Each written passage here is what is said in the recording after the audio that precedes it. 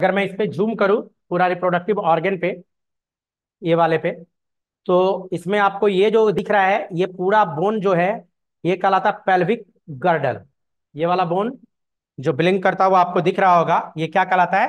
Pelvic girdle तो मैंने बताया था, इसी पेल्विक गर्डल के में जितना भी फीमेल का रिप्रोडक्टिव वाला पार्ट है, ज़्यादातर पार्ट इसी पेल्विक गर्डल के अंदर होता है। तो ये सब बात हम लोगों ने कर लिया है। हम लोग को इसी पेल्विक गर्डल के अंदर घुसना है। कहाँ पे? इसी का ओवरी में। अब अगर मैं इसका स्केलेटन वाला पार्ट ये जो फीमेल का स्केलेटन है, पूरा मैं हटा दूँ तो अब जो है ये रिप्रोडक्टिव सिस्टम मैं बाहर निकाल चुका हूँ फीमेल का। ये रिप्रोडक्टिव सिस्टम वाला पार्ट बाहर निकल गया।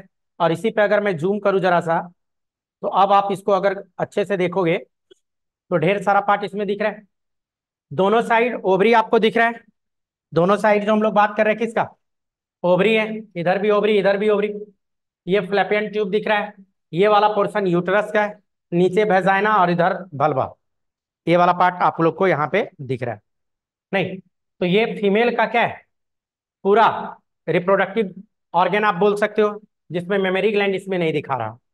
मेमोरी ग्लैंड थोरेसिक रीजन में मौजूद होगा। तो हम लोग को जो बात करना है ऊ जेनेसिस पे। तो ऊ जेनेसिस कहाँ होगा? यही ओवरी के अंदर। ये दोनों जो ओवरी है इसमें होना है ओभा का प्रोडक्शन, जिसको हम लोग क्या बोल रहे हैं? ऊ जेनेसिस। तो इसी ओवरी के अंदर का बात हम लोग करेंगे। तो आइए एक ओवरी को अगर हम लोग थोड़ा सा जूम करें तो इसी में हम लोग ऊ जेनेसिस के बारे में पढ़ेंगे। इसी के अंदर हम लोग क्या पढ़ेंगे? ऊ जेनेसिस। ऊ जेनेसिस को अगर यहाँ पे देखना है, नहीं, अगर मैं इसका हाफ़ पार्ट हटा दूँ, ये, और अब देखोगे तो यहाँ दिखा रहा है ये यूजेनेसिस तो ये बात तो यही करना है, इसी यूजेनेसिस पे। स्टेप बाय स्टेप करेंगे एक एक करके करेंगे। इसी यूजेनेसिस पे बात ओवरी के अंदर। लेकिन जरा सा ओवरी के बारे में भी समझ लेते हैं। ओवरी में यहाँ पे जो है, मैं अलग से समझाता हूँ आपको। इसको साइड में लेते हैं और फ्लैपियन ट्यूब में हटा दे रहा हूँ। ठीक है? यही ओवरी आपको नज़र आ रहा है। तो ये वाला जो ओवरी वाला पोर्सन है, इस जगह पे क्या है? ओवरी तो ओवरी वाला जो पोर्शन है, इसी ओवरी पे हम लोग बात करेंगे। नहीं, जो भी बात होगा, इसी ओवरी पे मौजूद बात करेंगे हम लोग कि ओवरी में क्या होना है, कैसे होना है। स्टेप बाय स्टेप इसी पे से रिलेटेड हम लोग यहाँ पे बात करने जा रहे हैं बच्चों। स्टेप पे बात करेंगे ऊजेनेसिस का। तो ये जो ओवरी वाला पोर्शन है चाहिए इस पे। तो ये ओवरी तो पहले तो इसको, ये पूरा जो यहाँ पार्ट है, यही क्या है? ओवरी, इसी को हम लोग क्या बोल रहे हैं?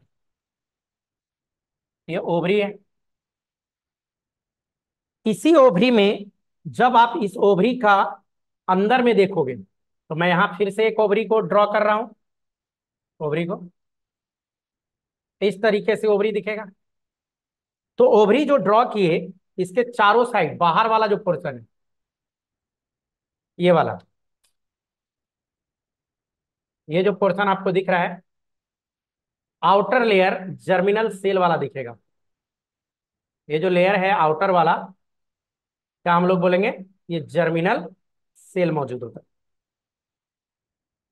या जर्म लेयर भी बोल सकते हैं। ये जर्म लेयर मौजूद है। इस जर्म लेयर के अगर अंदर हम लोग घुसे, इस जर्म लेयर के अगर हम लोग अंदर घुस जाए तो जैसे अंदर घुसेंगे तो ये पूरा जो पार्ट बच गया ये कहलाता है एस्ट्रोमा। ये कौन सा पार्ट है? एस्ट्रोमा वाला पार्ट। और इसी एस्ट्रोमा में फिर इसको डिवाइड किया गया है दो पार्ट में, एस्ट्रोमा को। और एस्ट्रोमा को जो दो पार्ट में बांटा है, अगर मैं यहाँ एक लाइन खींच दू तो ये वाला जो पार्ट है कॉटेक्स कहलाता है। क्या कहलाता है? कॉटेक्स वाला पार्ट कॉटिकल पार्ट और कॉटेक्स के अगर अंदर आप घुसिएगा कॉटिकल रीजन के, ये वाला पार्ट मेडुला कहलाता है। ये कौन सा पार्ट है? मेडुला वाला पार्ट तो इस तरह से इसको बांटा गया है। मतलब ये जो एस्ट्रोमा है, इस एस्ट्रोमा को दो भाग में बांट दिया गया है कॉटेक्स और मेडुला। हम लोग आज की क्लास में जो भी बात करेंगे, वो सारा बात कहाँ का है? इस कॉटिकल रीजन का है। मतलब जो भी बात करेंगे, इसी कॉटिकल रीजन का हम लोग बात करने जा रहे हैं। एक कॉटेक्स वाला जो रीजन है, इसी रीजन से रिलेटेड हम लोग यहाँ पे बात करेंगे। इसी कॉटिकल रीजन में देखेंगे डेवलपमेंट किसका? फीमेल गेमिटोसाइट्स का। नहीं, बोले तो प्रीमोडियल जर्म सेल यहीं पे होता है। यहीं पे कॉटिकल रीजन में क्या होगा? प्रीमोडियल जर्म सेल और यही प्रीमोडियल जर्म सेल का हम लोग डेवलपमेंट देखेंगे। प्रीमोडियल जर्म सेल जो होता है ना, ये डिप्लोइड होता है। इसका अगर जेनेटिक में कब देखोगे तो ये क्या होता है? टू एन और टू एन बराबर हम लोग क्या लिख सकते हैं? फोर्टी सिक्स इसी को लिख सकते हैं फोर्टी फोर आउटोजोम है, दो टो सेक्स क्रोमोजोम है। या इसी को हम लोग ऐसे भी लिख सकते हैं। इसी को हम लोग ऐसे भी लिख सकते हैं। टू ए दो सेट आउटोजोम का प्लस एक बाप से आया है, एक माँ से आया है। सेक्स क्रोमोजोम तो यही प्रीमोडियल जर्म सेल कैसे डेवलप करेगा? स्टेप बाय स्टेप हम लोग अभी यहाँ पे देखने जा रहे हैं। ठीक है? तो हम लोग कहाँ का बात कर रहे हैं? ओवरी का। और ओवरी के बारे में मैं क्या बतला रखा हूँ आपको पहले से? ओवरी जो है, ये ओवरी, यही क्या है? प्राइमरी प्राइमरी सेक्स ऑर्गेन है। और प्राइमरी सेक्स ऑर्गेन में क्या बताया था? किसको बोलेंगे प्राइमरी सेक्स ऑर्गेन तो दो काम करेगा। जो गैमिट बनाने का काम करे, नहीं, और जो सेक्स हार्मोन का प्रोडक्शन करे। तो जो गैमिट का बात कर रहे हैं? तो फीमेल गैमिट है। फीमेल गैमिट की बात कर रहे हैं और फीमेल गैमिट की जो बात कर रहे हैं तो सीधा बोलिए कि जो ओभा के प्रोडक्शन से रिलेटेड बात कर रहे हैं। और सेक्स हार्मोन में आपको अच्छे से पता है फीमेल सेक्स हार्मोन दो है एस्ट्रोजन एंड प्रोजेस्ट्रॉन तो फीमेल सेक्स हार्मोन की जो बात करेंगे, क्या बात करेंगे? एस्ट्रोजन एंड प्रोजेस्ट्रॉन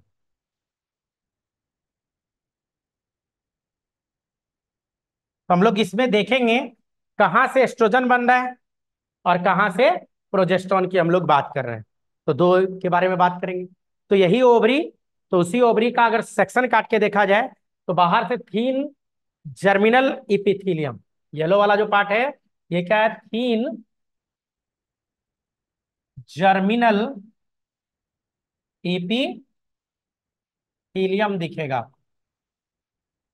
अलग बात है, हम थोड़ा मोटा दिखा दिए हैं, थोड़ा पतला सा दिखाना था। तो थीन जर्मिनल इपिथीलियम मौजूद हो। फिर उसके अंदर एस्ट्रोमा और एस्ट्रोमा को दो भाग में बांट रहे हैं। जो बाहर वाला पार्ट है, बाहर वाला पोर्शन है, ये वाला पोर्शन साइड से क्या कहलाया? कॉटिकल रीजन कहलाया कॉटेक्स और अंदर वाला जो है, वो कहलाता है मेडुला तो सारा बात ही हम लोग कहाँ का करेंगे? कॉटिकल रीजन का करेंगे। यहाँ तक क्लियर है? लिखना है? जल्दी से कीजिए। लिखना है तो लिखिए, नहीं तो क्लिक कीजिए, तब आगे बढ़ेंगे।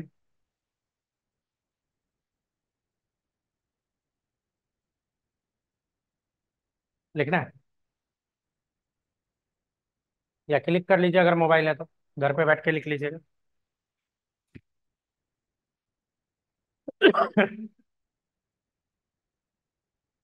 बढ़ जाऊँ? चलिए। तो हम लोग बात किसका करने जा रहे हैं? इसके अंदर। और हमारा आज का हेडिंग क्या हो जाएगा? गेमिटो जेनेसिस इसको मैं हटा रहा हूँ क्लीन कर। तो हम लोग जो भी बात करने जा रहे हैं किसका? गेमिटो जेनेसिस से रिलेटेड हम लोग बात करने जा रहे हैं। तो हम लोग का आज का हेडिंग क्या है बच्चों? गैमेटो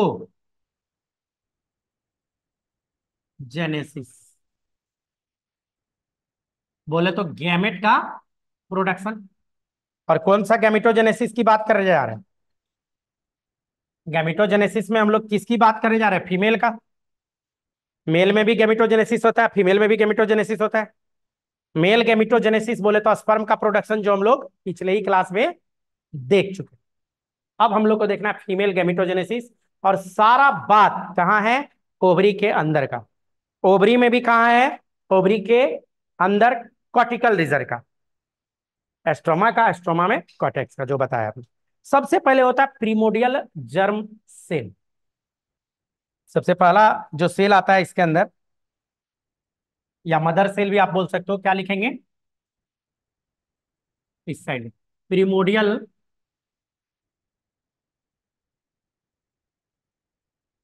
जर्म सेल की बात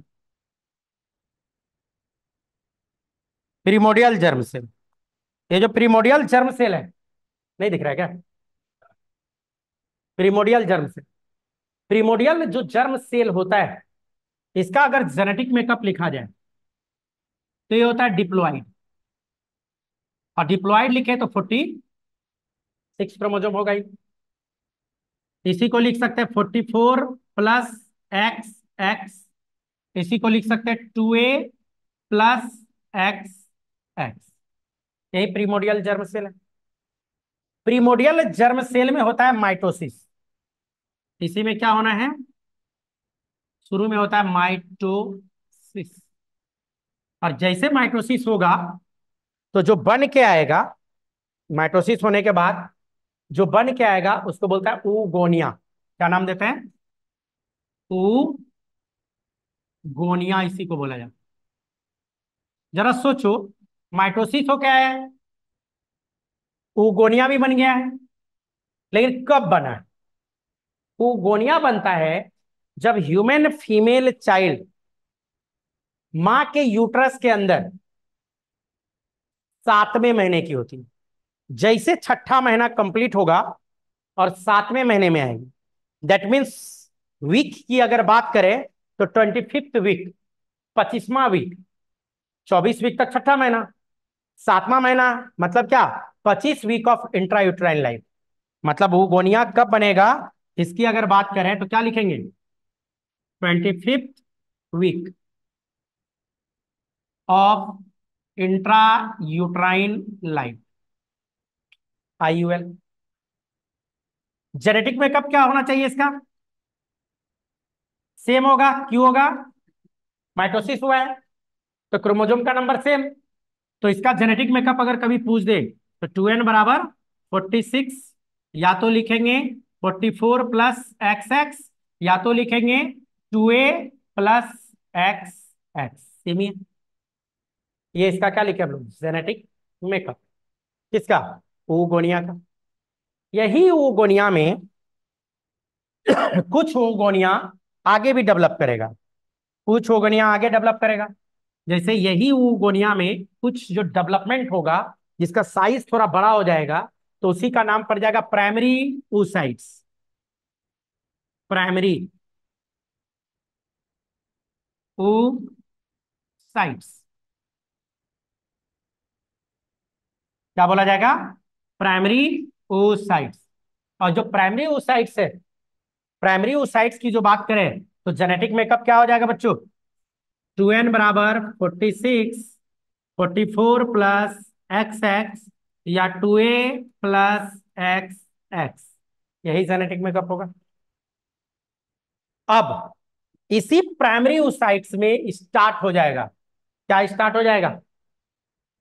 मियोसिस प्राइमरी ओसाइट्स में क्या स्टार्ट होना है? मियोसिस स्टार्ट कराएँगे। स्टार्ट हो गया यहाँ पे मियोसिस लेकिन मैं क्या बोल रहा हूँ? स्टार्ट होगा। मियोसिस स्टार्टेड स्टार्ट होगा क्या? यहाँ से मियोसिस लेकिन मियोसिस स्टार्ट हो रहा है केवल। कंप्लीट नहीं हो रहा है। और जो मियोसिस स्टार्ट होगा तो जाके अरेस्ट हो जाएगा। किस स्टेज में?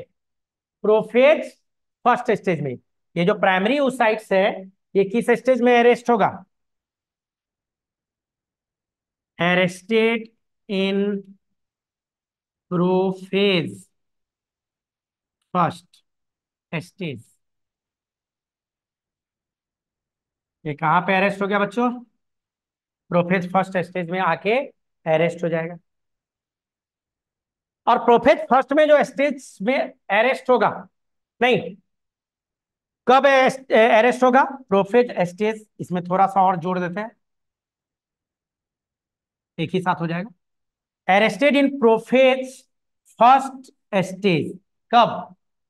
एट बर्थ जन्म के समय।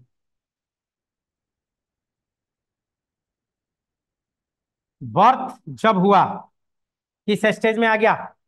प्रोफेज फ़र्स्ट स्टेज में अरेस्ट हो गया। और ये प्रोफेज फ़र्स्ट स्टेज में ही अरेस्ट रहेगा। कब तक? अप टू प्यूबर्टी कब तक अरेस्ट रहेगा? क्या बोलेंगे? अप टू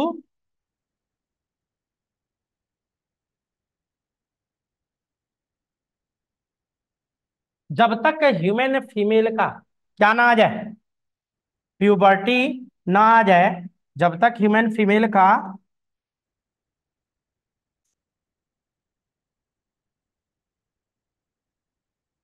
प्यूबर्टी ना आ जाए, तब तक ये क्या होगा? प्रोफेज फ़र्स्ट स्टेज में अरेस्ट होगा। अब क्वेश्चन है सर क्या प्रोफेज फ़र्स्ट तो आपको मियोसिस आना चाहिए था। मैंने पिछले क्लास में बोला था कि आप माइटोसिस मियोसिस पर क्या आइएगा? पता है सबको मियोसिस का स्टेप सब? है पता? यहाँ तो बॉडी छोटा है। बताना पड़ेगा। चलिए, अब बताऊँ तो बताऊँ कहा? छोटा छोटा लिखते हैं यहीं पे। छोटा छोटा लिखते हैं। चलो देखो, मियोसिस को बांटा गया है दो भाग में। एक मियोसिस फ़र्स्ट और एक बांटा गया मियोसिस सेकंड। तो मियोसिस फ़र्स्ट को लेकर आगे बढ़ रहे हैं। मियोसिस सेकंड बाद में कर लेंगे। ठीक है? मियोसिस फ़र्स्ट को जो बांटा गया है, क्या बांटा है? कैरियोकाइनेसिस कैरियोकाइनेसिस फ़र्स्ट और देन साइटोकाइनेसिस फ़र्स्ट कैरियोकाइनेसिस कहीं का भी हो कैरियोकाइनेसिस कहीं का भी हो प्रोफेज फ़र्स्ट पीएमएटी होता है। मेटाफेज फ़र्स्ट, एनाफेज फ़र्स्ट और टीलोफेज प्रोफेज फ़र्स्ट की जो बात करेंगे, इसको फिर बांटा जाता है। शायद पढ़े होइएगा आप लोग। Leptotene, zygotene, pachytene, diplotene, diakinesis. ये सिर्फ़ प्रो मियोसिस फ़र्स्ट का स्टेप लिखे, जगह नहीं है सेकंड का आगे हम कर लेंगे, ठीक है? फ़र्स्ट का सिर्फ़ स्टेप लिखे।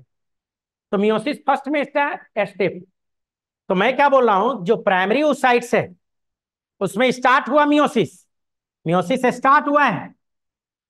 और स्टार्ट होते के साथ अरेस्ट हो गया है। किस स्टेज में?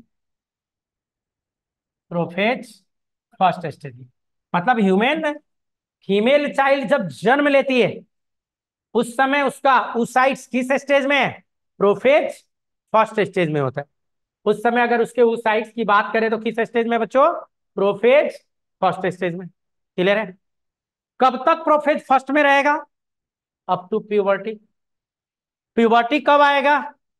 तो अप्रोक्स अगर बात करें अप्रोक्स ग्यारह बारह साल में। नहीं अप्रोक्स की बात करेंगे तो क्या? एलेवन से ट्वेल्व साल के आसपास अप्रोक्स। अप्रोक्स इसलिए बोल रहे हैं कि किसी किसी फीमेल का प्यूबर्टी नाइन ईयर में ही आ जाता किसी का टेन में, किसी का इलेवन में, किसी का ट्वेल्व में, किसी का थर्टीन फोर्टीन फिफ्टीन तक। तो कोई फिक्स नहीं है। फीमेल टू फीमेल ये वेरी कर जाता है। इसीलिए जो आपका एनसीआरटी बात किया है ग्यारह बारह साल के आसपास तो मैंने इसीलिए यहाँ अप्रोक्स का सिंबल डाल दिया और बता दिया कि ये ग्यारह बारह साल के आसपास प्यूबर्टी स्टेज मतलब जब ह्यूमन फीमेल चाइल्ड जन्म ली, जन्म लेने के 11 से 12 साल तक ह्यूमन फीमेल चाइल्ड किस स्टेज में था उसका? उसाइड्स प्रोफेज फ़र्स्ट स्टेज में ही अरेस्ट था। अब, जब प्यूबर्टी स्टेज आ जाएगा, नहीं तो प्यूबर्टी जैसे आएगा तो मेचुरेशन होना स्टार्ट होगा किसका? ग्रेफियन फॉलिकल का। अब अगला स्टेप है मेचुरेशन मेचुरेशन ऑफ़ पियन फॉलिकल्स नहीं मेचुरेशन ऑफ़ क्या बोलेंगे? ग्रेफियन फॉलिकल्स तो ग्रेफियन फॉलिकल्स की जो हम लोग बात कर रहे हैं बच्चों, नहीं ग्रेफियन फॉलिकल्स की जो हम लोग बात कर रहे हैं तो ग्रेफियन फॉलिकुलर का मेचुरेशन कब स्टार्ट होगा? कब? आफ्टर प्यूबर्टी अब क्वेश्चन ये है सर ग्रेफियन फॉलिकल क्या है? ग्रेफेन फॉलिकल क्या है? तो इसी पे तो पूरा क्लास अभी बात होगा। ये साइड्स का ही जो मेचुरेशन होता है स्टेप बाय स्टेप तो उसी को बोलता है ग्रेफेन फॉलिकल पूरा डिटेल में पता चलेगा कुछ। देर बाद। तत्काल याद रखें मेचुरेशन ग्रेफियन फॉलिकल का स्टार्ट हो गया। अब जो मेचुरेशन ग्रेफियन फॉलिकल का स्टार्ट होगा, कब? आफ्टर क्या लिखूँगा? After puberty after puberty graafian follicular का मेचुरेशन स्टार्ट हो जाएगा। और जैसे ग्रेफेन फॉलिकुलर का मेचुरेशन स्टार्ट होगा मियोसिस फ़र्स्ट कंप्लीट क्या लिख दू? Meiosis first complete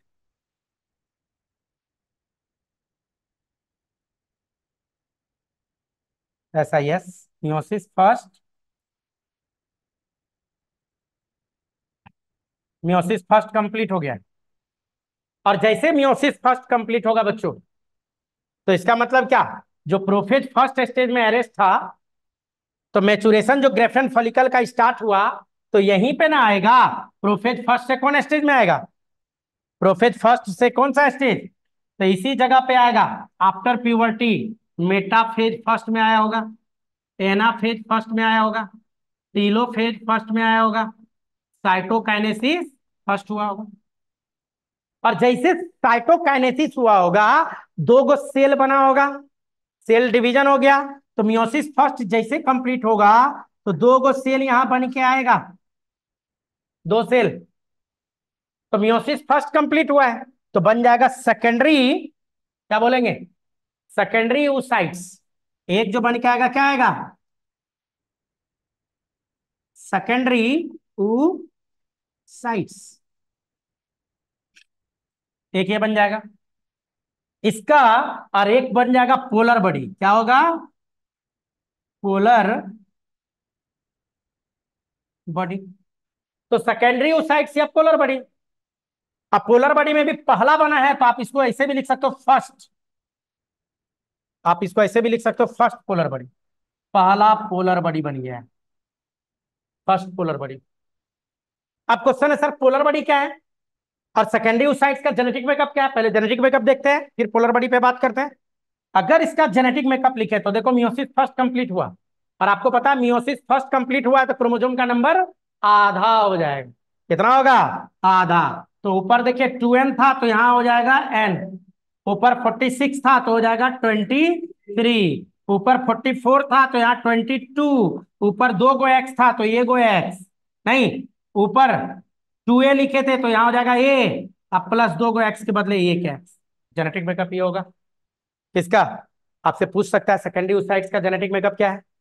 same question आपसे पूछा जा सकता है जो फ़र्स्ट पोलर बॉडी है, इसका जेनेटिक मेकअप क्या है? तो सेम ही होगा। मतलब यहाँ एन बराबर ट्वेंटी थ्री या ट्वेंटी टू प्लस एक्स या ट्वेंटी टू ट्वेंटी टू नहीं A plus A plus X की बात करेंगे। ये जेनेटिक मेकअप हो गया। तो क्वेश्चन ये है कि फ़र्स्ट पोलर बॉडी कब बना? फ़र्स्ट पोलर बॉडी कब बना? प्यूबर्टी के बाद? आफ्टर प्यूबर्टी क्वेश्चन आपसे आता फ़र्स्ट पोलर बॉडी कब बना? आफ्टर प्यूबर्टी की बात करेंगे। फ़र्स्ट पोलर बॉडी का जेनेटिक मेकअप क्या है? तो हैप्लोइड है। जेनेटिक मेकअप में जाएँगे तो क्या बोलेंगे? हैप्लोइड है। बोले तो 23 क्रोमोसोम की यहाँ पे बात हो रही है। 23 क्रोमोसोम का हम लोग यहाँ पे बात करेंगे। किसका? फ़र्स्ट पोलर बॉडी की जो हम लोग बात कर रहे हैं कैसा क्रोमोजोम ट्वेंटी थ्री क्रोमोजोम की हम लोग यहाँ बात करेंगे। अब क्वेश्चन है, सर पोलर बॉडी क्या तो यहाँ देखो, इसमें। पोलर बॉडी क्या तो मैं यहाँ साइड में बता रहा हूँ साइड में। ठीक? होता क्या है? मान लो ये एक सेल है, और इस सेल में जब भी मियोसिस होगा तो पहले तो कैरियोकाइनेसिस हो गया तो न्यूक्लियर डिवीज़न बराबर हो गया।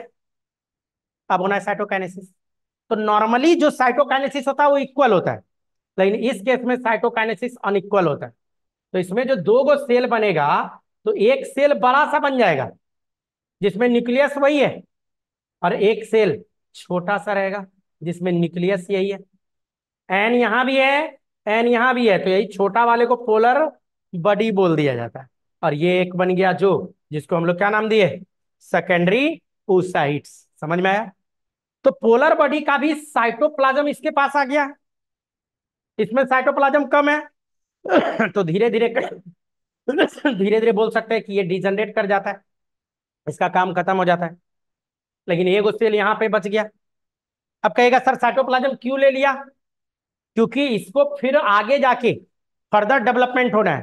तो डेवलपमेंट होने के लिए जितना इंजाइम जितना प्रोटीन जो भी चीज़ चाहिए तो सब रखेगा ना। तो एगो ज़्यादा से ज़्यादा रख लिया। एगो को क्या किया? कम रखा। और जो कम रखा तो उसी को हम लोग क्या बोल दिए? पोलर बॉडी बोल देते हैं। पोलर बॉडी हो गया। क्लियर है पोलर बॉडी का कौन सा तो फ़र्स्ट पोलर बॉडी कब बना? First polar body after puberty stage बनता है। फ़र्स्ट पोलर बॉडी की जो हम लोग बात करते हैं आफ्टर प्यूबर्टी का। तो आप एक काम करो बच्चों, अभी जगह और चाहिए मुझे तो इसको पहले लिख लीजिए, या नहीं तो क्लिक कीजिए, जो भी करना है। बोलिए। वहाँ है। कुछ विशेष है क्या? बोलिए।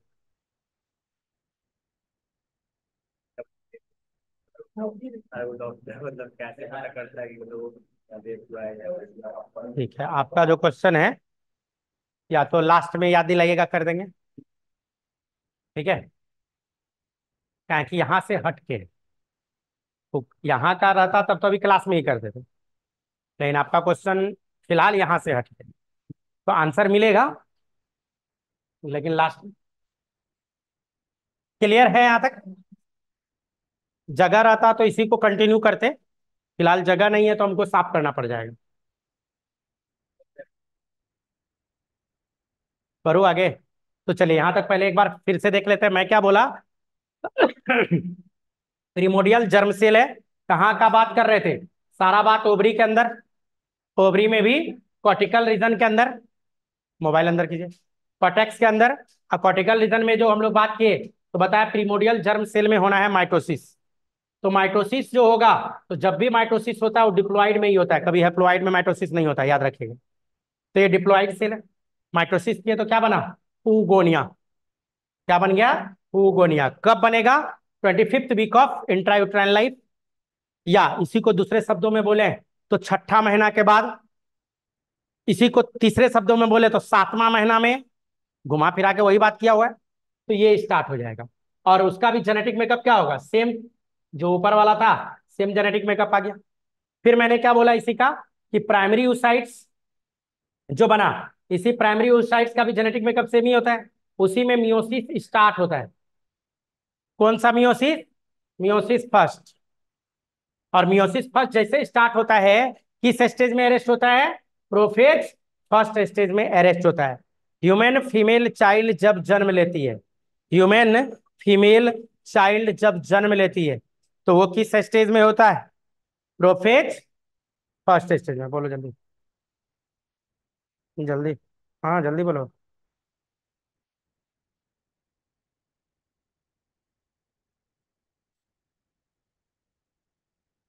ठीक। नहीं तो इस तरीके से होता है। फिर क्या हो गया? यही आगे बढ़ेगा। तो मैचुरेशन ग्रेफ अरेस्ट हो गया प्रोफेज फ़र्स्ट में। जब प्यूबर्टी स्टेज आ जाएगा प्यूबर्टी तक तो यही रहेगा, लेकिन जैसे प्यूबर्टी स्टेज में फीमेल आएगी तो उसका स्टार्ट हो जाता है मेचुरेशन किसका? ग्रेफियन फॉलिकल का। जो आज देखेंगे हम लोग क्या बात करते हैं ग्रेफियन फॉलिकुलर के मेचुरेशन में। तो थोड़ी देर बाद इसको डिटेल करेंगे टेंशन मत लीजिएगा कि ग्रेफियन फॉलिकल क्या है। तो है यही चीज़। फिर यही आगे आएगा तो मियोसिस फ़र्स्ट कंप्लीट और जैसे मियोसिस फ़र्स्ट कंप्लीट होगा तो यहाँ दो चीज़ बन जाएगा, एक सेकेंड सेकेंडरी ऊसाइट्स जिसका जेनेटिक मेकअप हैप्लोइड हो चुका है, क्योंकि मियोसिस फ़र्स्ट कंप्लीट हो गया है। और दूसरा क्या बन गया? पोलर बॉडी तो पोलर बॉडी का भी जेनेटिक मेकअप सेम होता है। तो पहला पोलर बॉडी कब बना? आफ्टर प्यूबर्टी कहाँ बना? कहाँ बना? ओवरी के अंदर। तो first polar body after puberty inside the ovary के अंदर।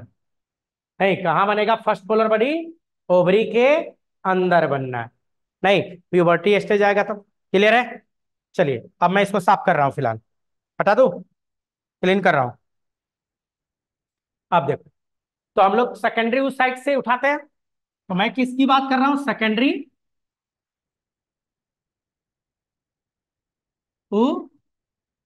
साइड्स और सेकेंडरी साइड्स जो बना तो प्यूबर्टी के बाद की बात कर रहे हैं अब जेनेटिक मेकअप क्या था? टू एन नहीं n n is equal to twenty three twenty two plus X या. ए प्लस एक्स यही ना? ये जेनेटिक मेकअप इसका है? ये जेनेटिक मेकअप इसका है?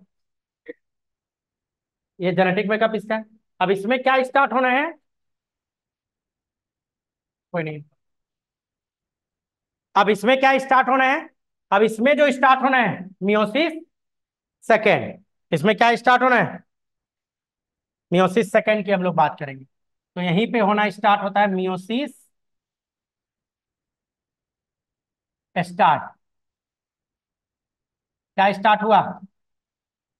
मियोसिस सेकेंड तो मियोसिस सेकेंड का स्टेप वहाँ नहीं लिखे थे। तो चलिए मियोसिस सेकेंड का भी स्टेप लिख देते हैं।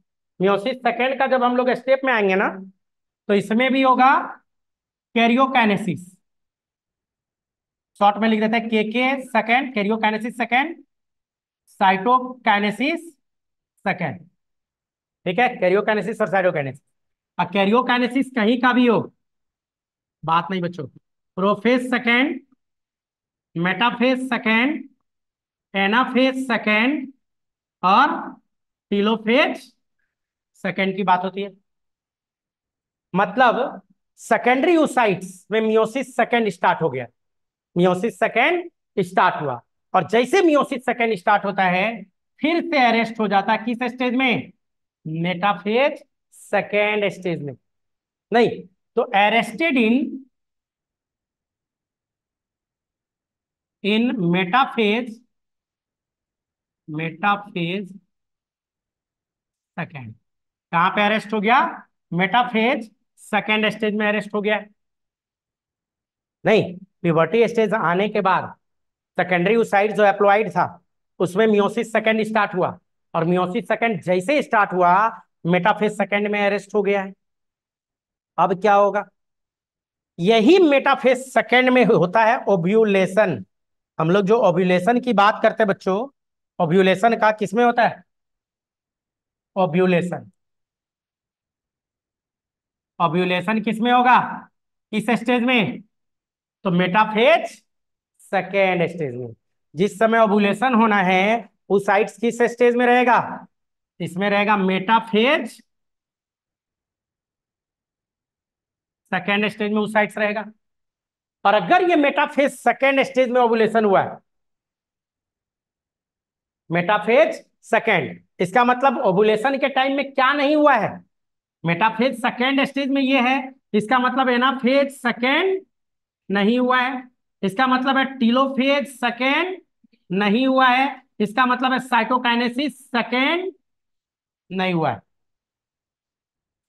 क्लियर अब देखो ओबुलेशन हो गया और ओबुलेशन जैसे होगा तो ओभा आ चुका है कहा? फ्लैपियन ट्यूब में। तो यहाँ तो फ्लैपियन ट्यूब अभी नहीं बना हुआ है। हटाऊँगा तो पूरा हट जाएगा तो मैं बना देता हूँ। देखो यहाँ छोटा सा बनाते हैं। इस तरह से फ्लैपियन ट्यूब को ड्रॉ करते हैं? और ये यूट्रस।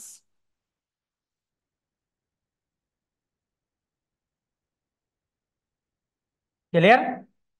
ये सर्विक्स।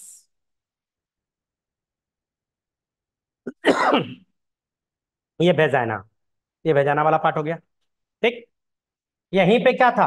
ओवरी और यही ओवरी क्या सिक्रिट कर दिया है? ओभा। और ये ओभा जो बाहर निकाला, यही ओभा बाहर आया है? तो यही ओभा किस स्टेज में है? मेटाफेज सेकेंड ओभा का ओवरी से बाहर निकल आना। तो क्या कहलाता मेटाफेज सेकेंड ये वाला पार्ट क्या है? ओवरी है। ये जो पार्ट है, ये क्या है? ओवरीज की बात करते हैं। दो गो रहता है इधर इधर। नहीं तो ओवरी से आया तो मेटाफेज सेकेंड में ओवुलेशन हो गया है। तो मेटाफेज सेकेंड में ओभा बाहर आ चुका है। मेटाफेज सेकेंड में जो ओव्यूलेशन हुआ है तो ये कौन पकड़ा है? तो फिम्बरी फिंगर लाइक प्रोजेक्शन जो यहाँ भी दिख रहा है, ये क्या है? फिम्बरी याद आया फिम्बरी पढ़ाया हुआ है? फिम्बरी इसको ओबा को क्या करेगा? पकड़ेगा। कौन सा ओबा मेटाफेज सेकेंड वाला ओबा और यही फिम्बरी पकड़ेगा तो फिम्बरी पकड़ के ओभा को कहाँ लेके आ जाएगा?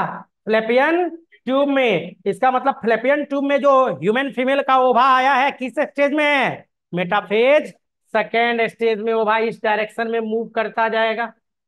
तो देखो क्वेश्चन क्या क्या आएगा। पहला क्वेश्चन आपसे ये पूछ देगा ओबुलेशन किस स्टेज में होता है? मेटाफेज सेकेंड स्टेज में। नहीं फ्लेपियन ट्यूब में किस स्टेज में आया? मेटाफेज सेकेंड स्टेज में। फिम्बरी किस स्टेज में पकड़ा? मेटाफेज सेकेंड स्टेज में। और अब अगर ये मान लीजिए यहाँ दो एस्पेक्ट है। अगर फीमेल कपुलेट नहीं की, अगर फीमेल कपुलेट नहीं की है तो ये दो बात हो सकता है यहाँ पे। अगर कपुलेशन नहीं हुआ है तो फर्टिलाइजेशन नहीं होगा। नॉट फर्टिलाइज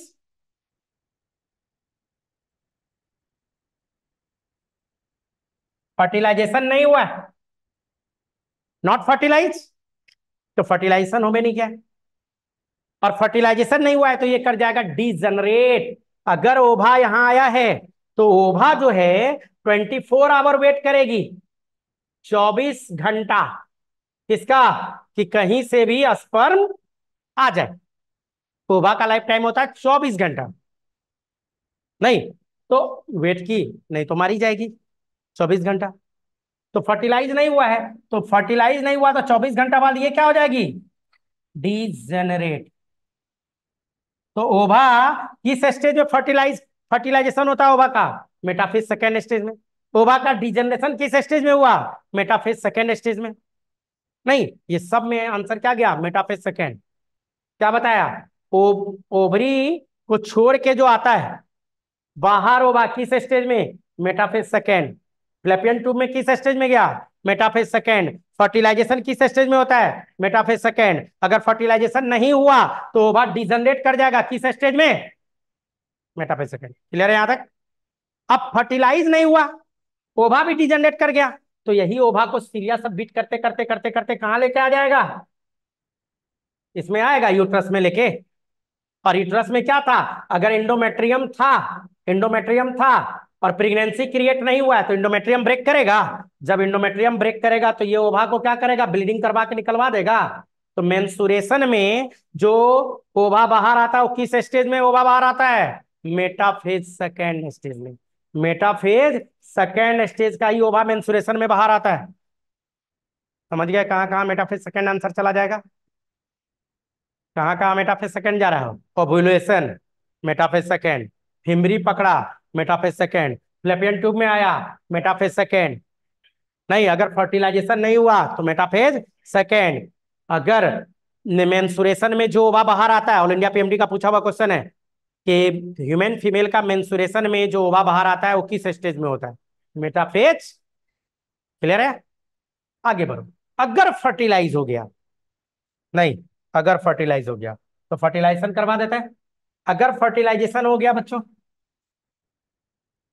फर्टिलाइज्ड दो बात हो सकता था फ्लैपेन ट्यूब में, या तो फर्टिलाइजेशन हो, या नहीं तो नहीं हो। तो जरा सोचो, अगर फर्टिलाइज हो गया है तो गारंटी है फीमेल कपुलेट की है? तभी तो स्पर्म आया है। अगर ये फीमेल कपुलेट की है, तभी तो स्पर्म आया है। मान लो यहाँ कपुलेशन हुआ है तो इंसेमिनेशन इस जगह हुआ है। अब स्पर्म तैरते तैरते तैरते आया होगा। और यही स्पर्म और ओभा का मीटिंग हुआ होगा। और स्पर्म ओभा मिला है, तभी हम लोग क्या बोल रहे हैं? फर्टिलाइज फर्टिलाइजेशन कब हुआ? जब स्पर्म और ओभा आपस में मिला। फर्टिलाइजेशन कहाँ हुआ? फ्लेपियन ट्यूब में हुआ। तो जो फर्टिलाइजेशन होता है, किस स्टेज का ओभा है? मेटाफेज। सेकेंड स्टेज का ही ओभा है। कहाँ पे फर्टिलाइजेशन हुआ? फेलोपियन ट्यूब या ओविडक्ट की बात करेंगे। फ्लेपियन ट्यूब या ओविडक्ट की बात करेंगे, जहाँ पे क्या हुआ? फर्टिलाइजेशन की बात करते हैं। और जैसे फर्टिलाइज हुआ, अब मियोसिस कंप्लीट होता है। मतलब स्पर्म का एंट्री जब हो गया, तब मियोसिस कंप्लीट तो अब हम लिख सकते हैं यहाँ पे completion of meiosis second of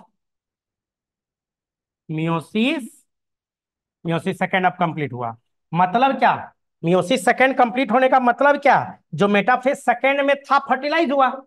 तो इसका मतलब अब क्या हुआ होगा? एनाफेज सेकेंड अब क्या हुआ होगा? टीलोफेज सेकेंड अब क्या हुआ होगा? साइटोकाइनेसिस तो आफ्टर फर्टिलाइजेशन एनाफेज सेकेंड होता है। याद रखिएगा। तो ये भी क्वेश्चन पूछ सकता है। फर्टिलाइजेशन के बाद कौन सा स्टेप हुआ? Anaphase second telophase second cytokinesis second और फिर से साइटोकाइनेसिस सेकेंड हुआ तो दुगो बना होगा। दुगो बनेगा। साइटोकाइनेसिस सेकेंड हुआ तो क्या बना? दो ठो बना है। दो ठो बनेगा। एक जो बनेगा, जिसको हम लोग बोल देते हैं ओभम। क्या बोल देते हैं? ओभम। और ओभम का जेनेटिक मेकअप जो लिखेंगे एन बराबर twenty three twenty two plus X या A plus A plus X कहिएगा सर फर्टिलाइज कर दिए। फर्टिलाइज करने के बाद भी ऐसा क्यों लिखे ओभम का? फोर्टी सिक्स लिखना चाहिए था तो बात करते हैं, बात करते हैं, लेकिन उससे पहले उससे पहले, एक और सेल बना तो अब बनेगा सेकेंड पोलर बडी। क्या बनेगा अब? सेकेंड पोलर बडी यही बनता है। सेकेंड पोलर अब बनेगा? तो जरा सा क्वेश्चन सुनिए। सेकेंड पोलर बॉडी कब बना? After entry of sperm second polar body कहाँ बना? तो जहाँ फर्टिलाइजेशन हुआ था, कहाँ फर्टिलाइजेशन हुआ था? फ्लैपियन ट्यूब में। फ़र्स्ट पोलर बॉडी कहाँ बना था? ओवरी में। सेकेंड पोलर बॉडी कहाँ बनेगा? फ्लैपियन ट्यूब में। सेकेंड पोलर बॉडी का जेनेटिक मेकअप क्या होगा? N is equal to twenty three नहीं ट्वेंटी टू प्लस एक्स या नहीं तो ए प्लस एक्स ये जेनेटिक मेकअप होगा सेकेंड पोलर बॉडी का।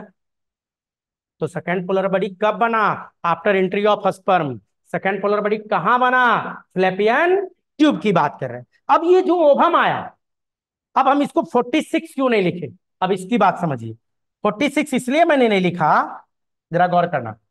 हुआ क्या है कि ये जो ओभम है, यही ओभम है तो ओभम का अपना न्यूक्लियस जो किस स्टेज में अभी है?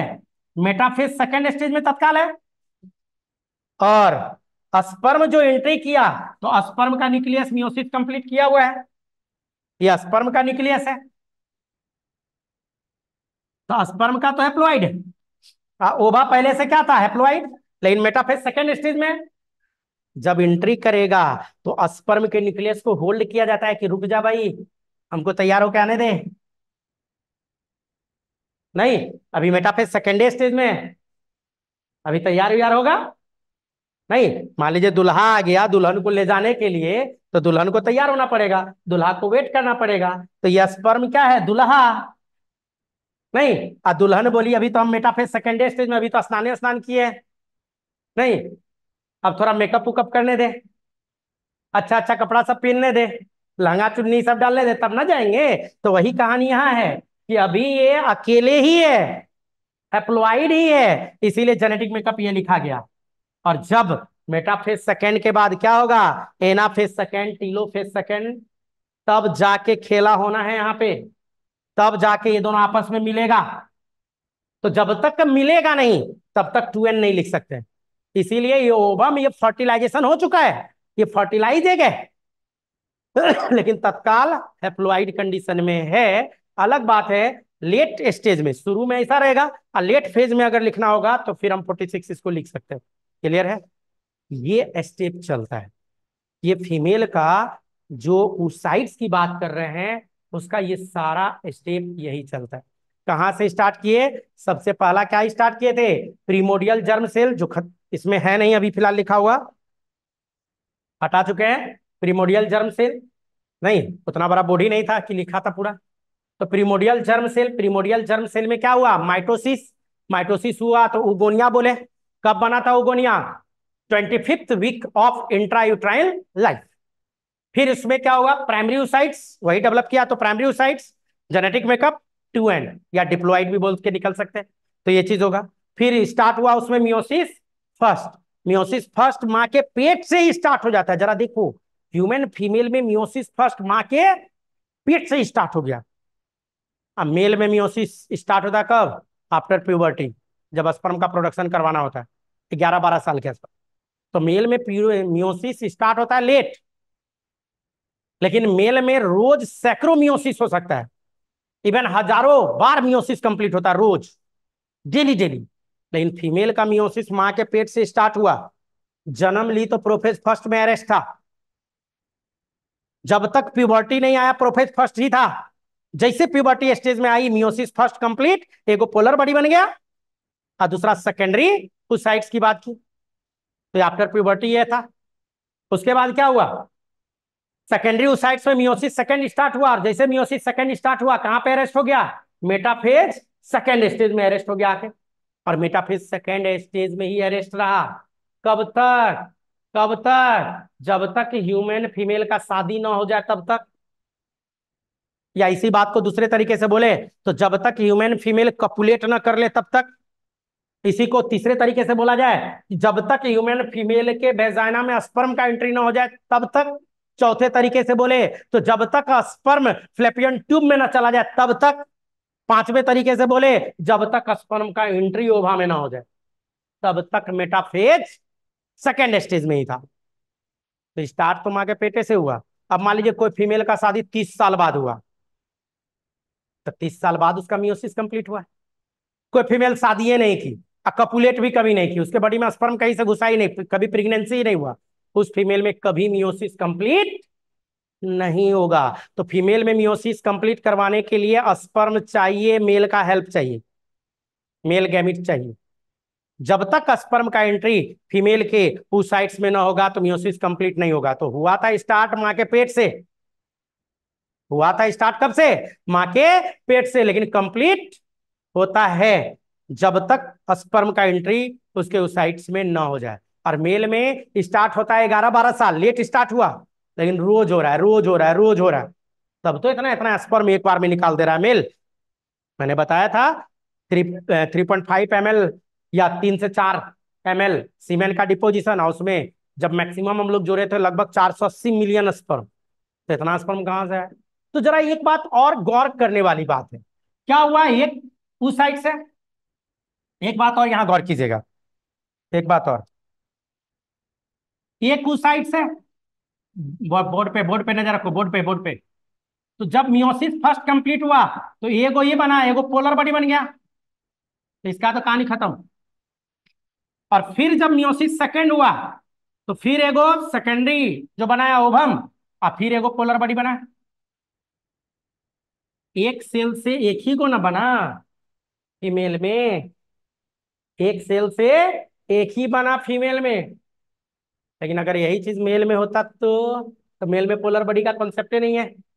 मेल में देखो मेल में मियोसिस फ़र्स्ट कंप्लीट होता तो दूगो बनता मियोसिस सेकेंड कंप्लीट होता इससे भी दूगो बनता और इससे भी दो गो बनता। किसमें? मेल में। तो मेल में एक जर्मिनल सेल से चार स्पर्म अब फीमेल में एक जर्मिनल सेल से एक ही ओवा क्लियर क्या कि दूगो क्या बन गया है? पोलर बॉडी पोलर बॉडी कब कब बना है? एक बिफोर सॉरी एक आफ्टर प्यूबर्टी और दूसरा बिफोर आफ्टर प्यूबर्टी और दूसरा आफ्टर एंट्री ऑफ़ स्पर्म दोनों आफ्टर है। अभी ना पढ़ाया? स्पर्म का एंट्री हो गया था भूल गए। क्लियर है यहाँ तक? यहाँ तक में कोई डाउट है तो बोलिए। एनी डाउट एनी डाउट भरू आगे। भरू आगे, कितना टाइम है? हट जाऊँ लिखना है?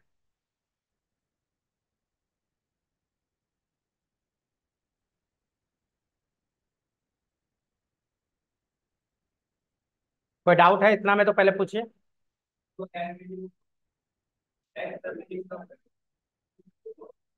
ओबम एक्स रिलीज़ कब करेगा मतलब?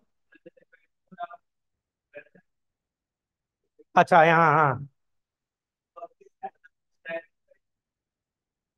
क्या पोलर बॉडी अच्छा ये ये सब बताऊँगा, आगे आएगा। इस पर तो अभी पूरा बात ही करना है।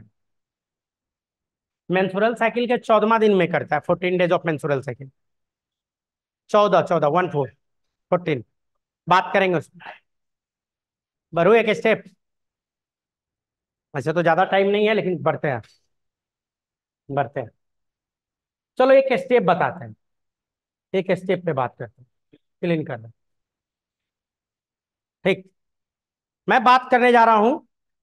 फ्लेपियन यहाँ मेचुरेशन ऑफ़ ग्रेफियन फॉलिकल मैं क्या बात करने जा रहा हूँ, ये देखो। ये जो दिख रहा है आपको? नहीं नहीं दिख रहा है। आ गया। ये जो दिख रहा है, नहीं, ये जो ओवरी आपको दिख रहा है, ये। इसी का अगर मैं सेक्शन काट दूँ, ये, और इसी का मैं अगर सेक्शन काट दूँ, ये। तो इसके अंदर देखिए, ये क्या दिखा रहा है? ग्रेफेन फॉलिकल कैसे मेच्योर हुआ? तो मैं तो अभी फ्लो डायग्राम पे सारा बात कर लिया। लेकिन कुछ फिगर पे भी बात करना पड़ेगा कि कैसे कैसे इसमें कौन प्राइमरी फॉलिकल है, कौन सेकेंडरी फॉलिकल है। नहीं कैसे इसका मेचुरेशन हुआ, कैसे एंट्रम का फॉर्मेशन हुआ, कैसे ग्रेफेन फॉलिकल मेच्योर हो चुका है, कैसे ओभा बाहर आया है,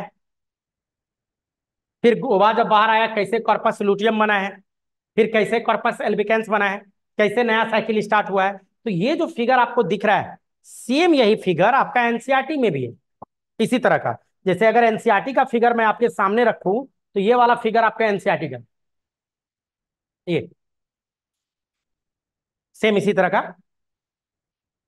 अब क्या है? इसमें भी देखोगे तो यहाँ पे ब्लड वेसल्स दिख रहा है प्रीमोडियल फॉलिकल दिख रहा है प्राइमरी फॉलिकल दिख रहा है। तो आपको पता है प्राइमरी का क्या स्टेज होगा सेकेंडरी का पता ही है आपको क्या होगा। जेनेटिक मेकअप सारे का बता दिया हूँ। फिर वही आगे डेवलप करेगा टर्सरी फिर ग्रेफियन फॉलिकुलर का मेच्यूरेशन और फिर यहाँ ओभा बाहर आया ओब्यूलेशन फिर इसी में कॉर्पस लुटियम बनेगा, और यही कॉर्पस लुटियम फिर कैसे आगे जाएगा? नहीं, जैसे मैं इसी का अगर कलर चेंज कर दू क्या? अब दिख रहा है। तो यही स्टेप पे बात करना है। लेकिन क्या है कि स्टेप तो ऑलमोस्ट हम कर लिए। लेकिन फिर भी इस पे अगर बात करूँगा, इस फिगर पे आपको कुछ बुझाने उझाने वाला नहीं। तो मैं क्या करना चाह रहा हूँ, हर एक स्टेप को बाहर निकाल निकाल के अलग अलग से बात कर यहाँ सारा स्टेप एक साथ दिया है कि शुरू से प्राइमरी फॉलिकल का मेचुरेशन से ओबुलेशन भी इसी में दिखाया है और ओबुलेशन के बाद कॉर्पस लुटियम ये सब दिखाया है। और यही कॉर्पस लुटियम प्रोजेस्ट्रॉन सिक्रेट करता है और बाद में कॉर्पस एल्बिकेंस बना दिया ये पूरा इस तरह से दिखा है। तो हम लोग जो यहाँ पे बात करने जा रहे हैं, जरा सा गौर कीजिए। हम लोग इसके स्टेप पे बात करने जा रहे हैं। तो आइए इस पे। हम लोग इसके स्टेप पे बात करने जा रहे हैं। तो सारा कहानी इसके अंदर का है। लेकिन मैं पूरा अभी क्लीन करना चाह रहा हूँ। ठीक है? पूरा वाइट कर दिए। और इसी पे हम लोग अब बात करने जा रहे हैं किसका? कि कैसे कैसे स्टेप आता है। कि कैसे डेवलपमेंट होता है किसका? ग्रेफियन फॉलिकुलर के डेवलपमेंट पे से रिलेटेड हम लोग यहाँ पे बात करने जा रहे हैं। स्टेप बाय स्टेप बोर्ड पे नज़र रखिएगा। क्योंकि इसी पे सारा खेला आगे का निर्भर करेगा। तो हमारा आज का हेडिंग है फॉर्मेशन ऑफ़ ओवेरियन या graafian follicle formation of ovarian या ग्रेफियन फॉलिकल तो हेडिंग डाल देते हैं। फॉर्मेशन की बात कर रहे हैं।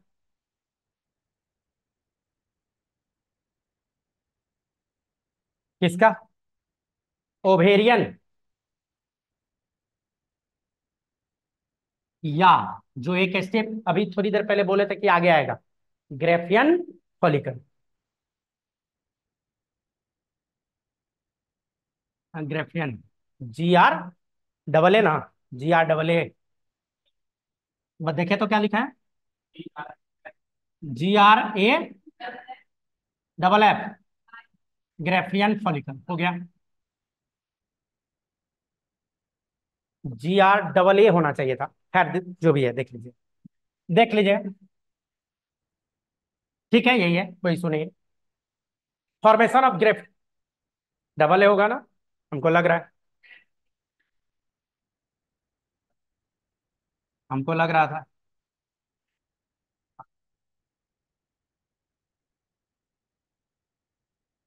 ग्रेफियन पोलियन ठीक है? चलिए, कोई बात नहीं स्पेलिंग में इतना याद रखेगा आदमी। सारा बात कहाँ का है? सारा बात कहाँ का है? पहले बताया हूँ। किस जगह का? ओबरी का। ओबरी में भी कहाँ का? दो पार्ट में बांटे थे। पहले तो एस्ट्रोमा, बाहर जर्मिनल सेल और फिर इसका कॉर्टिकल रीजन का ये कॉटेक्स सारा कहानी यही। इसमें इसमें यही कॉर्टिकल रीजन का। सारा कहानी, फॉर्मेशन ऑफ़ ग्रेफेन फॉलिकल कहाँ होता है? कॉटेक्स में। कॉर्टिकल रीजन, ओवरी के कॉर्टिकल रीजन की बात कर रहे हैं ठीक? और इसी में स्टेप पे आ रहे हैं एक एक करके स्टेप बनाऊँगा और गौर से देखिएगा। सबसे पहला क्या होता है? शुरुआती प्राइमरी फॉलिकल जो होता है, कौन सा? यहाँ पे सबसे पहले जो बात करें, एस्ट्रोमा में। एस्ट्रोमा, ओवरी का जो एस्ट्रोमा है, यहीं पे प्राइमरी ऊसाइट्स होगा। जैसे प्राइमरी ऊसाइट्स को चलिए बनाते हैं रेड से।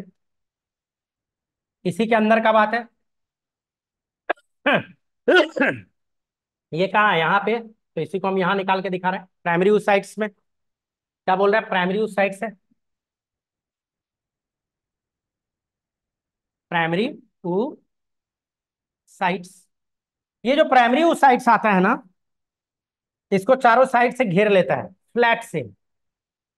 फ्लैट फ्लैट फ्लैट कहाँ का? इसका फ्लैट सेल घेर लिया। पहला स्टेप खत्म। पहला स्टेप खत्म। प्राइमरी साइड्स को कौन घेरा? फ्लैट से। पहला स्टेप खत्म। सेकेंड स्टेप, अगला। नेक्स्ट स्टेप में आएँगे हम लोग। तो सेकेंड स्टेप में जो बात करेंगे, सेकेंड का। अब देखो, यही वो साइड्स है। और इसी वो साइड्स है। तो इसी का इसी को चारों साइड से कौन घेरेगा? जो फ्लैट सेल था, यही कोलुमनार शेप का हो जाता है। कोलुमनार। यही क्या हो गया? कोलुमनार शेप का। सेकेंड स्टेप खत्म। सेकेंड स्टेप ये खत्म। थर्ड स्टेप तीसरे स्टेप में आना पड़ेगा। तो वो क्या हो जाएगा? फ्लैट फॉलिकुलर सेल कोलुमनार हो चुका है। लेकिन तीसरे स्टेप में जो आएँगे तो यहाँ पे प्राइमरी एक मेम्ब्रेन का फॉर्मेशन होता है, जिसका नाम है जोना पेल्यूसीडा। चलो थर्ड स्टेप तीसरा। थर्ड स्टेप की अगर बात करें तो पहले जो बना हुआ है, वो तो बनाना ही पड़ेगा आपको। ठीक? उसके बाद क्या? यहाँ पे देखो, पहले बना देता हूँ। एक लेयर यहाँ पे एक फॉर्मेशन होता है। इसी का नाम है जोना पेल्यूसीडा। ये प्राइमरी एक मेम्ब्रेन है। आप लिख सकते हो ये क्या है? प्राइमरी एक मेम्ब्रेन और चारों साइड से कौन घेरे हुए हैं? कोलुमनार से। जो कोलुमनार सेल है, ये घेरे हुए ये थर्ड स्टेप तीसरा स्टेप भी डन जोना पेलुसिडा क्या है? प्राइमरी एक मेम्ब्रेन क्लियर फॉलिकुलर सेल को घेर चुका है. Fourth step step number four अगला स्टेप चौथा स्टेप में आए तो ये देखो ये. उस साइड्स खुद इसको कौन घेरे हुए हैं? जोना पेलुसिडा बात बिल्कुल नहीं. नहीं तो कुछ भी बुझाने वाला नहीं है. अगर जो समझा रहा हूँ, ये नहीं समझ में आया तो अगला जितना क्लास होगा ना, सब में रोगे क्या किसी पे बेस्ड ऑफ़ सारा क्लास चलेगा। और इसके बाद जो कोलुमनार सेल था, इसमें डिवीज़न स्टार्ट हो जाता। बार बार डिवाइड करता। मान लो ये कोलुमनार सेल था, एक बार डिवाइड हुआ तो एक से दो दो बार हुआ तो दो से चार चार से आठ, इस तरह से डिवाइड होते जाते। और यही डिवीज़न होते होते एक इस तरह का स्ट्रक्चर बना देता। छोटा छोटा छोटा छोटा छोटा छोटा छोटा छोटा, इस तरह का सेल इस तरह का सेल चारों साइड से इसको घेर लेगा। वही कोलुमनार सेल डिवाइड किया है। कोलुमनार सेल ही डिवाइड किया इस तरह का डिवीज़न हो गया। और यही जो होता है ग्रेन्यूलोसा क्या कहलाता है? जोना, यहाँ पे ग्रेन्युलोसा सेल इसका नाम क्या है? मेम्ब्रेना ग्रेन्यूलोसा इसका अगर नाम लिखना है तो आप लिख सकते हो मेम्ब्रेना ग्रेन्यूल लाइक अपेरेंस हो जाता है। अब यही मेम्ब्रेना ग्रेनुलोसा बन गया। अब देखो, अब मैं एक लाइन ऐसे इधर खींच के इधर ले आता हूँ इसको फिर अब अगला बनाते हैं। फिर क्या होगा? कितना स्टेप हो गया? फोर्थ स्टेप था ये ये चौथा स्टेप था, पांचवा स्टेप तो उस साइड से यही है, उस साइड से यही है। इसको घेरे हुए कौन है? जोना पेलिशिडा घेरे हुए। और जोना पेलिशिडा के चारों साइड क्या है? ग्रेनुलोसा। तो ग्रेनुलोसा को हम इस बार गोल गोल से दिखा देते गोल गोल गोल गोल। यही ग्रेनुलोसा सेल्स उसमें हम जल्दी जल्दी में दिखा दिए। ग्रेन्यूल लाइक अपेरेंस है। सेम वही फिगर अभी बना है। डिट्टो वही फिगर बना हुआ है। स्टेप नंबर फोर का। ग्रेनुलोसा।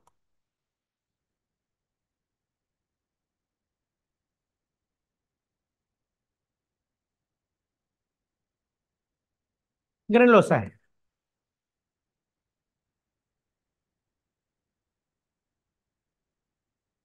ग्रेनुलोसा है। क्लियर है?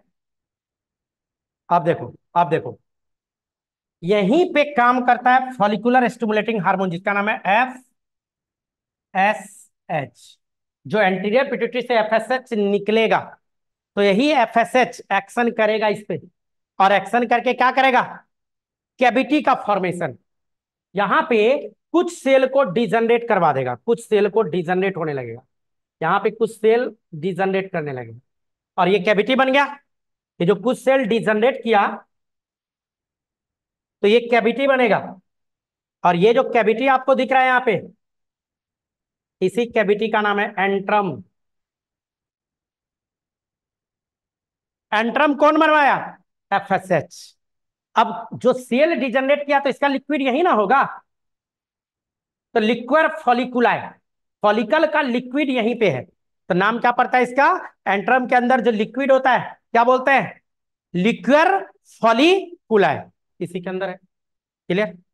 तब तक क्या होगा? इसका साइज़ भी बड़ा हो चुका होगा। बाहर बढ़ते जाएगा बढ़ते जाएगा बढ़ते जाएगा। अब अगला स्टेप यहाँ पे। लिक्विड फॉलिकुलाय यहाँ का जो लिक्विड है, क्या बोलेंगे? किसका लिक्विड है? फॉलिकल का? तो क्या नाम देगा? फॉलिकुलर लिक्विड फॉलिकुलर अगला स्टेप चौथा के बाद ये पांचवा स्टेप की बात किए छठा स्टेप सारा कहानी यहाँ पे हो जाएगा। छठा। छठा स्टेप में जो बात करेंगे सिक्स स्टेप तो अब देखो। अब ये जो एंट्रम बनेगा, ये बढ़ते जाएगा। तो बढ़ते जाएगा तो क्या होगा? उस साइड को एक साइड में ठेल देगा। एक साइड में ठेलेगा ना तो उस साइड से मान लो कि साइड में आ चुका है। उस साइड से मान लो यहाँ पे साइड में हम कर दिए मेटाफेज सेकेंड स्टेज में आ चुका है ये अब। इसी को चारों साइड से घिरे हुए कौन? Zona pellucida.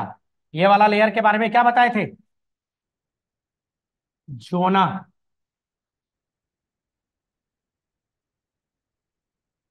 यहीं पे थोड़ी देर बाद बनाना है, लेकिन मैं पहले बना देता हूँ, नहीं तो बाद में दिक्कत होगा। यहीं पे एक लेयर और फिर सेकेंडरी एक मेम्ब्रेन बनता है, जिसका नाम है कोरोना रेडियाटा क्या नाम है? कोरोना रेडियाटा ये सेकेंडरी एक मेम्ब्रेन है। गौर से देखना है, गौर से देखना है, एकदम बोर्ड पे नज़र।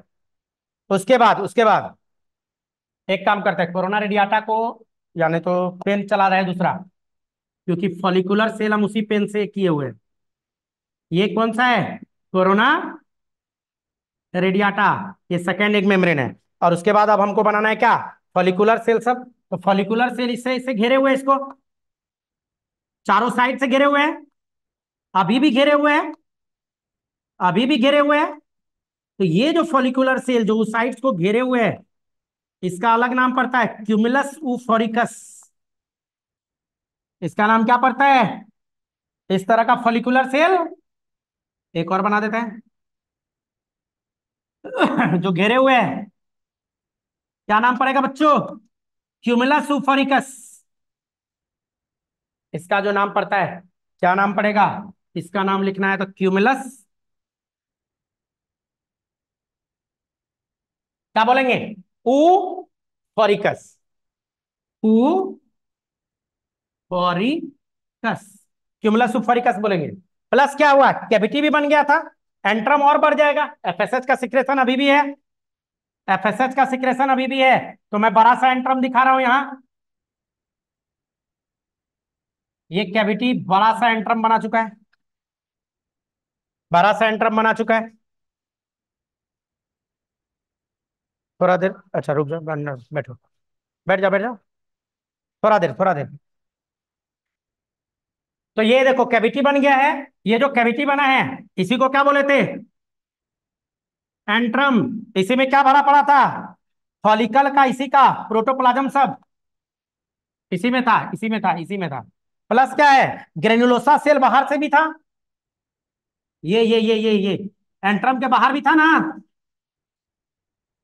बाहर भी था। और इसका नाम पड़ता मेम्ब्रेना ग्रेनुलोसा क्या नाम है? मेम्ब्रेना ग्रेनुलोसा मेम्ब्रेना ग्रेन्युलोसा यही मेम्ब्रेना ग्रेनुलोसा है। ये पूरा मेम्ब्रेना ग्रेनुलोसा बना हुआ है। लेयर बाय लेयर होगा। मेम्ब्रेना ग्रेनुलोसा इस तरह से ढेर सारा लेयर होगा। जगह नहीं है तो मैं छोड़ रहा हूँ ज़्यादा नहीं बना रहा हूँ। लेकिन गौर करो गौर करो गौर करो, नीचे नहीं फटा है। इधर नहीं फटा, इधर नहीं फटा है। इधर जहाँ नहीं फटा है इसी को बोलता है जर्म हिल या डिस्कस प्रोलीगेरस।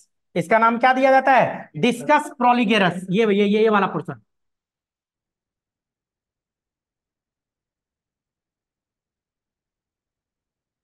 या जर्म हिल के नाम से भी जानता है।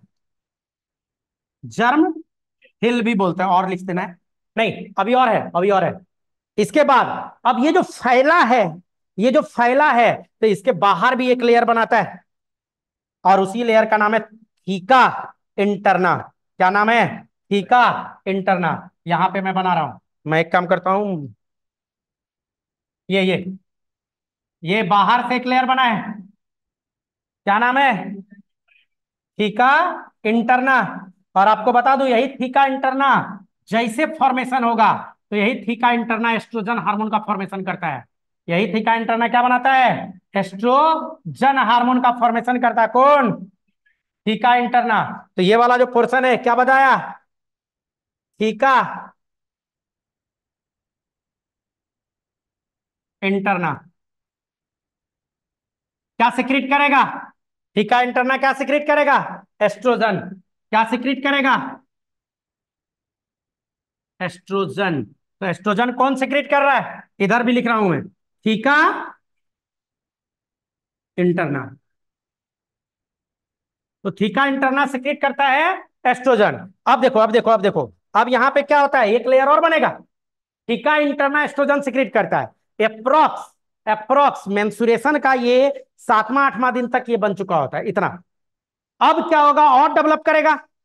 तो इसके बाहर का जो सेल होगा, इसके बाहर इसके बाहर इसके बाहर, ऐसे ऐसे बना रहा हूँ. ठीका एक्सटर्ना क्या नाम है? ठीका एक्सटर्ना। जो सबसे बाहर होगा, क्या नाम है?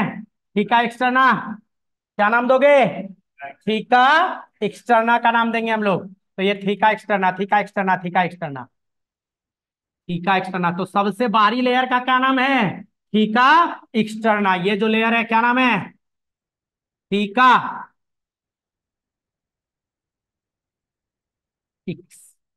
एक्सटर्ना।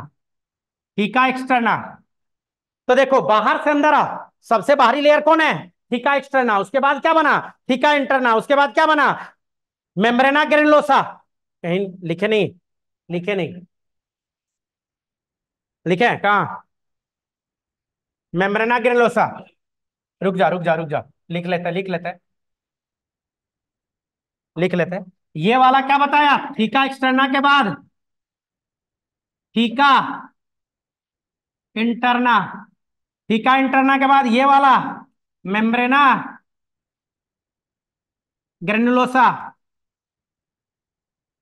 और मेम्ब्रेना ग्रेनुलोसा के बाद एंट्रम एंट्रम के बाद क्यूमुलस उफोरिकस क्यूमुलस उफोरिकस इस तरीके से बनता है बच्चों। क्यूम्यूलस उफोरिकस क्लियर है? मेम्ब्रेना ग्रेनुलोसा उसके बाद क्यूमुलस उफोरिकस उसके बाद कोरोना रेडियाटा उसके बाद जोना पेलुसिडा देन देन ये सेकेंडरी ओसाइट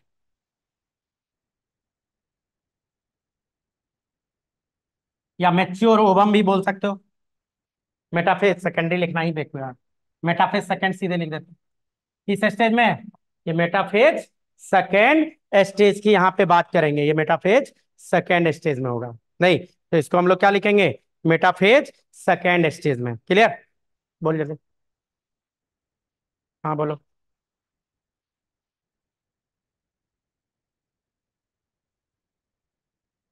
क्या काम है बच्चा? अभी वो भी नहीं आया है, तुम भी जाएगी तो कैसे काम चलेगा? नहीं, उसका तबीयत खराब है।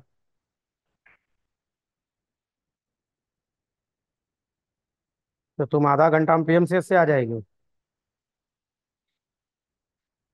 तुम आधा घंटा में आ जाएगी, तुमको लगता है? हम उधरे रहते हैं। अब आ गई ट्रैफ़िक पे। नहीं, अभी ऑफ़िस में बैठो, अभी कोई नहीं है, हम भी नहीं क्लास में। तो मम्मी को छोड़ना क्या? है मम्मी को बोलो जाएगी, मम्मी बच्ची थोड़ी है। ऑटो वाला गया है ना? ऑटो वाला गया है, अभी ऑफ़िस खाली नहीं छोड़ी हम बोल रहे बार बार। आधा घंटा में तुम नहीं आ पाएगी, हमको अच्छे से बताया जहाँ, अभी हो कहाँ तुम? ऑफ़िस से आधा घंटा जाने में लगेगा, कम से कम, आधा घंटा आने में लगेगा। हमको पता है ना किधर है? हाँ।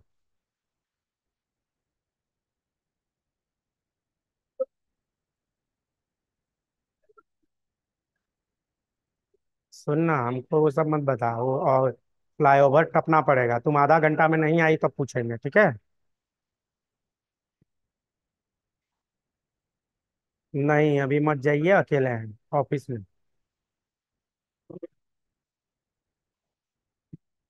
हो गया? इतना बात क्लियर है? यहाँ तक में कोई भी डाउट है तो बताइए। सारा स्टेप बताया, मेचुरेशन ऑफ़ ग्रेफ्टन फॉलिकल कैसे होता है, ये मैंने बता दिया। इसी में मैं आपको बता दूँ, अब यही ओभा जब मेच्योर हो गया तो क्या होगा? ये फटेगा। अब फटेगा, ये पूरा फटेगा। कब फटेगा? जब एल एच आएगा। कब फटेगा? जब एल एच आएगा। तो एल एच आएगा ना? सेव सेव किए थे? सेव किए हैं। चलो देखो, जब एल एच आएगा ना एल एच इसको फाड़ इसको फाड़ देगा। और इसको जैसे फाड़ेगा तो क्या निकल के बाहर आ जाएगा? कहा चला जाएगा? फ्लैपियन ट्यूब में। क्लियर है? कब फ्लैपियन ट्यूब में जाएगा? इसी को बोलता है मेचुरेशन ऑफ़ ग्रेफेन फॉलिकल इस पे और भी बात है। कब फटेगा तो फोर्टीन डेज़ कब फटेगा? चौदमा दिन। तो चौदमा दिन ये फटेगा। क्लियर है? चलिए मिलते हैं अगले क्लास में। इतना बात क्लियर है सारे लोगों को। कोई डाउट है तो बोल दीजिए अभी भी। एनी डाउट आई थिंक नहीं है।